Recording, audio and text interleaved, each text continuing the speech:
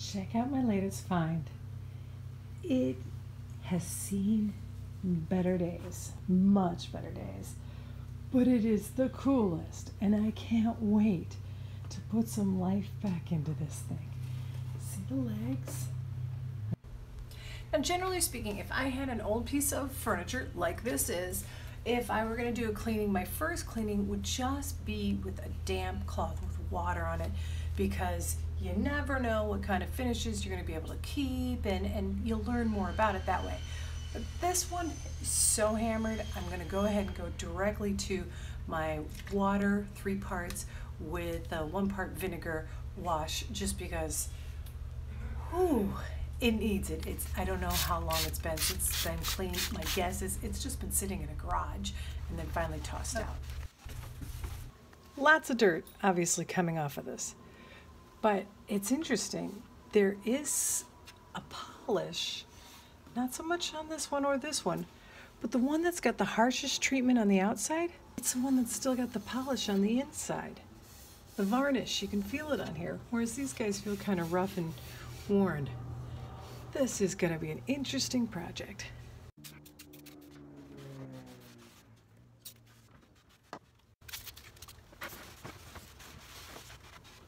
Wow.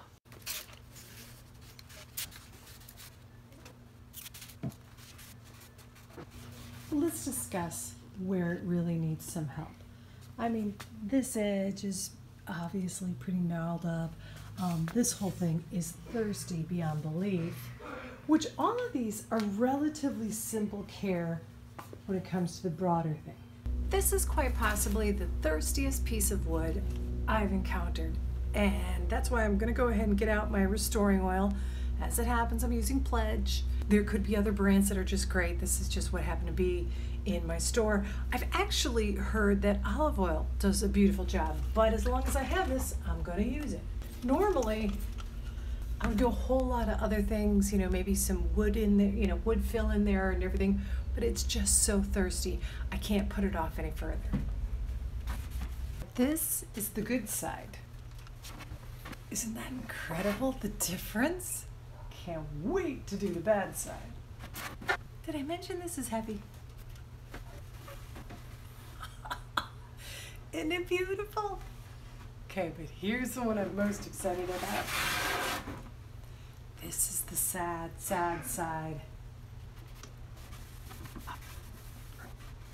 See, now I'm looking at just like, oh, little repairs I'll have to do.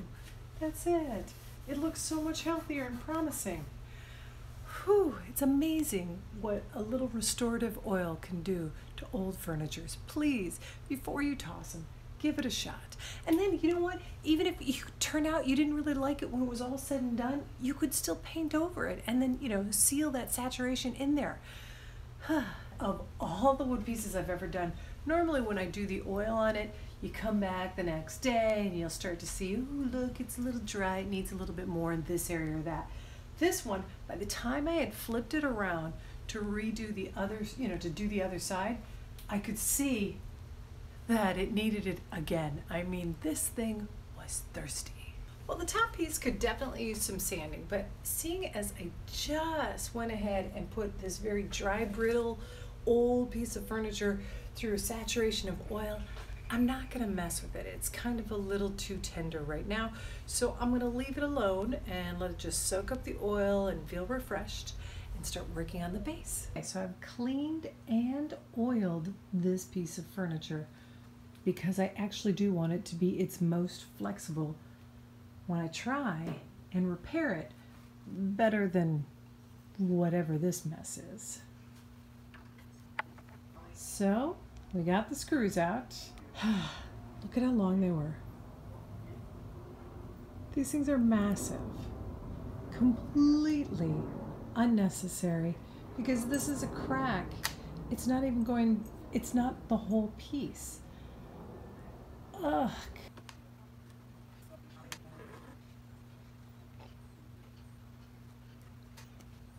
I want to make sure I get the glue inside.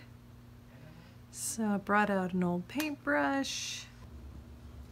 Now to work a clamp on to tighten it. All right, so I've got the top of the table upside down, and I'm going to try and experiment with a wood filler that I've never used before to see how it works.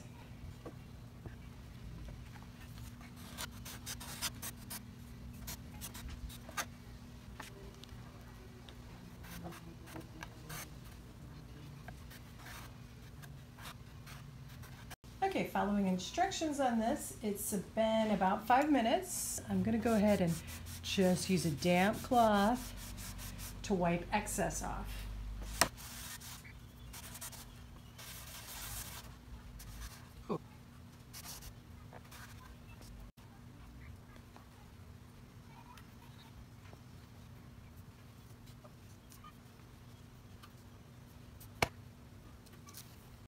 Okay, well, going through this whole thing, all of a sudden I came across this. Now, this is the top part of one of the flaps, or leaves, I should say.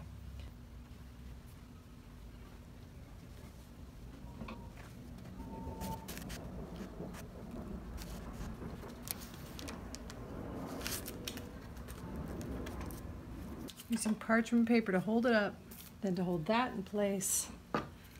Got a towel so it will protect the wood, and then a clamp. Now with this chewed up, gnarled up corner, I'm gonna sand it first.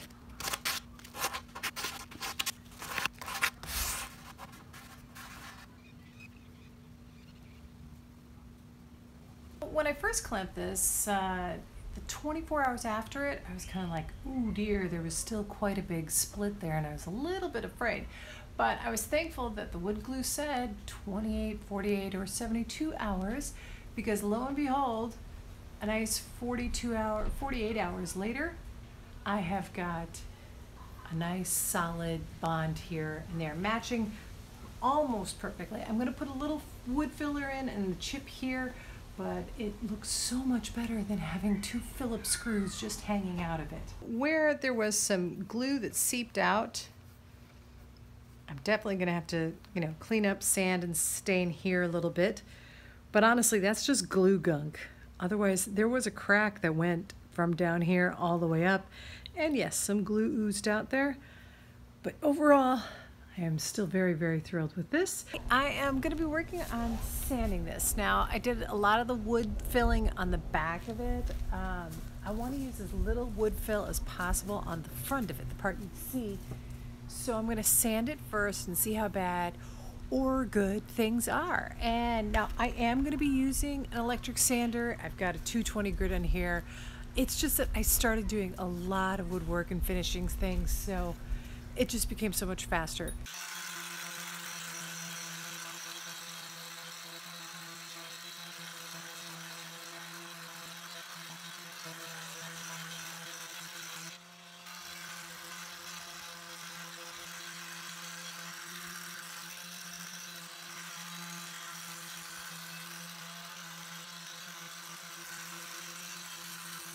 Between each sanding, I've been wiping it down, and by sanding I mean each time I go through a different piece of sandpaper, wiping it down. I'm doing this so it's uh, less drudgery and less mess for the sander to get through, and also it gives me a better idea of how far I've come along.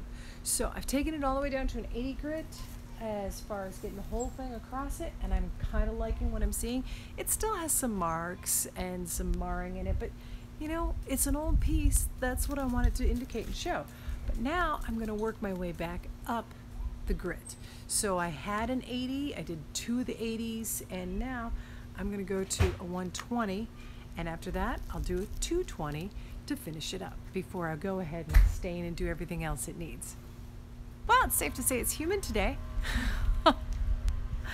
But um, it's before the sun goes down. I want to go ahead and put some stain on it and see how it goes. I'm actually just using um, the Dark Woods scratch cover from Old English simply because I had it in my garage. I have no preference in stains that I'm aware of just yet. If you know better, by all means, put a comment down there. Lint Free Cloth, aka Trusty Old T-shirt.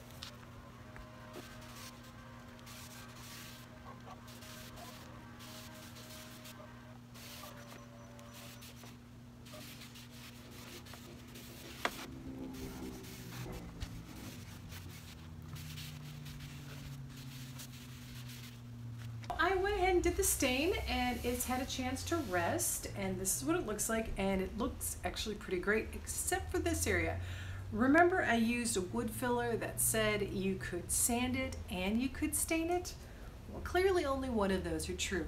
It did sand well, it looks great that way, but it did not take the stain very well, so I am going to have to hand paint this. Um, but before I get to the hand painting, I did want to give you one tip. Now, when you go online and look for tips on how to work with wood, whether it's restoring something old or building something new, you're going to find as many ways to do stuff with when it comes to the top coats as probably as there are crafters out there, and a lot of them give great advice. But one of my favorites is Ron Hazelton.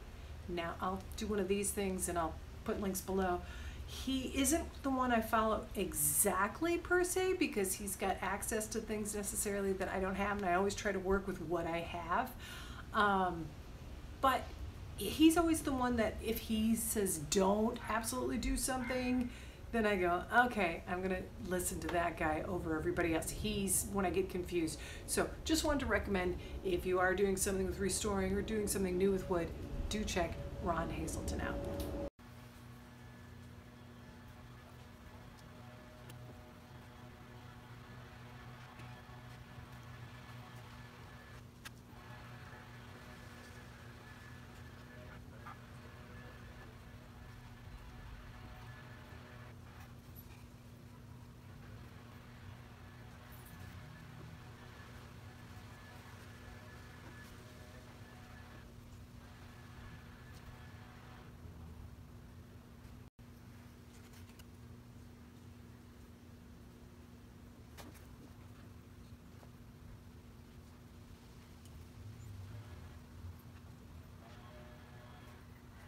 Quick favor, could you subscribe if you haven't already? And oh, hit that bell. It'll give you reminders when I get new videos. Now, technically, this is the underside, so I could just wax it and go. I mean, who's gonna see it? But I'm gonna know it's there. I'm gonna actually be bothered by it. So, I'm gonna hand paint these to our stiffer waxes. These are my choices for this piece of furniture. This one, it doesn't smell too much. This one, that stinks a lot. This one's more cost effective. This one, it's not that bad of a price, but basically they're about the same price. So you can imagine how much more wax you're getting out of this one than you are this one. But oh my goodness, it's a stinky one. so here's what the difference in the two of them when it came to putting wax on the piece of furniture. Now visually, it's kind of hard to tell the difference between these two. They both did a nice job. I'm going to have to do a second coat on them because it's not as buffed out as I would like it to be. Smell-wise is remarkable. Whew, this one is so much better. No headache, no yuck smell. This feels like soft fabric practically. I mean, it, it's not that gooey, but it feels beautiful. This one still feels a little bit rough. I think what I'm gonna do is a combo of the two. I think I'm going to use Stinky on parts that I don't want to wax anytime soon again, meaning right now the underneath side, maybe more difficult spots in the base of the table. As areas where I can reach easily and are more likely to put food on the table and everything else. I'm going to go with the less stinky one and not mind doing it again in another couple years. Changing the plan. The smell, it just got to me. Here's the thing, full disclosure, my husband will be the first to tell you I am very scent sensitive. So there's things that, you know, other people won't even notice or if they do notice, they don't bother them. But for me, yeah, I kept getting this ugh feeling. So I'm not going to use that. What I'm going to do is this is slightly more expensive, but the smell is almost non-existent and very light. So I'm going to use this. I will have to do twice the work. So instead of maybe doing two coats with the other one, I'm probably gonna have to do three, possibly four with this one. But I, you know, yeah, the smell, it was a really big deal for me.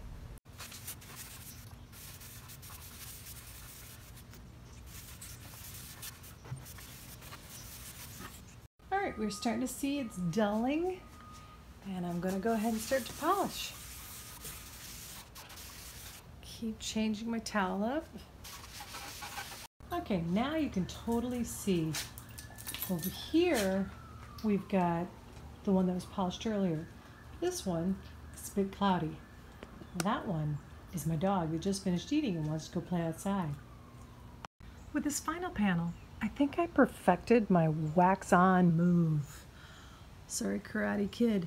Um, but what I did is I made sure I did I did my circle motions all the way through it, but then I came back and I did, you know, north to south movement throughout the whole thing. And you can really start to see it. It's dull now. I need to go ahead and start buffing this off. This, by far, has been the driest piece of wood I have ever worked with. It has had three coats of wax, and I still was able to give it uh, an oil finish polish, and it just absorbed it right up. It's amazing. Um, but you know, we figure it's somewhere around 70 uh, ish years old, and considering the condition I found it in, yeah, I don't even know if it's ever been treated nicely in all those 70 years, for at least not the last 20 years. It's been probably sitting in a garage and just being neglected. So, here's what it looks like when it's done. You know, the thing is, is I may be tired right now from putting in the effort, but it wasn't technically very hard to do this, to restore this piece of furniture. It's nothing you couldn't do too. So please, before you throw anything out, give it a second shot.